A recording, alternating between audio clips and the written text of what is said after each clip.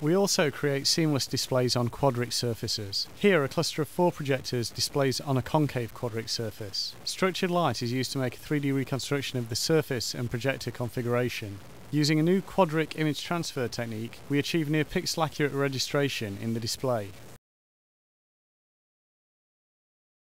This example shows projection onto a convex surface. Again, we achieve near pixel accurate registration in the display.